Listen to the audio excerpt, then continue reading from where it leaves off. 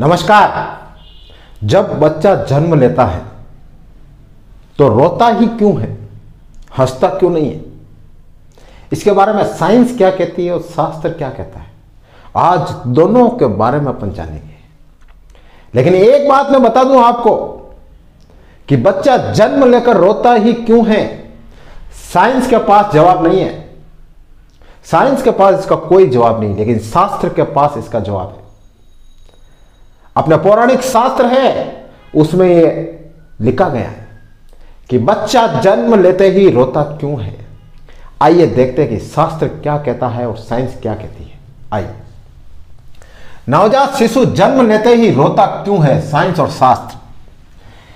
Science कहती है कि शिशु जब माँ के गर्भ में होता है ना तो एक पैकेट में वो होता है और उस पैकेट में एक लिक्विड भरा हुआ होता है। उसमें खास प्रकार का एक लिक्विड होता है। और वह, उस वक्त जब वो पैकेट में होता है ना, तब उसको नाक और मुँह से हवा लेने की ज़रूरत नहीं होती। उस बच्चे के फेफड़े बन जाते हैं। गर्भ की बात कर रहा हूँ मैं, माँ के गर्भ में बच्चे के फेफड़े बन जाते हैं, लेकिन वो फेफड़े काम नहीं कर रहे होते। बच्चा जैसे ही माँ के गर्भ से बाहर आता है तो विशेष प्रकार का लिक्विड है, वो लिक्विड बाहर निकल जाता है। आपने देखा होगा, बच्चा जैसे ही जन्म लेता है, डॉक्टर बच्चे को उल्टा लटकाते हैं। और उल्टा लटकाते हैं तो जितना भी वो लिक्विड होता है, बच्चे के अंदर से बाहर निकलता है। और जैसे ही वो बाहर निकलता है लिक्विड तो बच्चा मुँह से और नाक से सांस लेता है। और बच्चे के फेफड़े स्टार्ट हो जाते हैं और बच्चा ज़ोर ज़ोर से रोने लगता है। लेकिन सवाल यह उठता है कि जब बच्चे के अंदर से वो लिक्विड बाहर निकल जाता है। बच्चा सांस लेना शुरू करता है। तो हँसते हुए भी तो सांस ले सकता है। बच्चा पैदा होते हुए हंस भी तो सकता है, रोता ही क्यों है? साइंस के पास इसका कोई जवाब नहीं है। लेकिन आप, मैं आपको शास्त्र के बारे में बताता हूँ। शास्त्र। विष्णु पुराण। विष्णु पुराण में एक जगह लिखा हुआ है।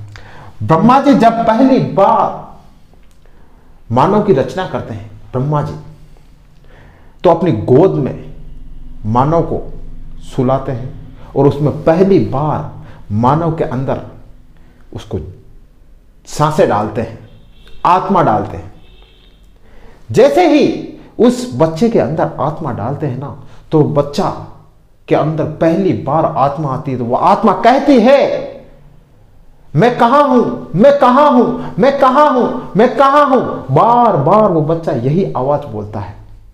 तो ब्रह्मा जी सोचते हैं कि यार जब कोई भी बच्चा संसार में जब जन्म लेगा और जन्म लेते ही कर ये बोलेगा, मैं कहाँ हूँ? मैं कहाँ हूँ? मैं कहाँ हूँ? तो ये विचित्र स्थिति पैदा हो जाएगी। सब लोग आश्चर्य में पड़ जाएँगे कि यार ये क्या बोल रहा है? ऐसा क्यों बोल रहा है? तो ब्रह्मा जी उस वक्त उस मानव के स्वर को नियंत्रित कर देते हैं। और उस, उन उन स्वर को, मैं कहाँ हूँ, मैं कहाँ हूँ, को रोने की आवाज़ में बदल देते हैं। तो अगर आप, जब बच्चा पैदा होता है अगर आप गौर से सुनोगे, बच्चे की आवाज़ को तो वही आवाज़ सुनोगे आप, मैं कहाँ हूँ, मैं कहाँ हूँ, मैं कहाँ हूँ, अगर गौर से सुनोगे तो। तो अपना शास्त्र कहता है कि बच्चा पैदा होते ही रोता क्यों है? इस कारण से। लेकिन यह जवाब साइंस के पास नहीं है।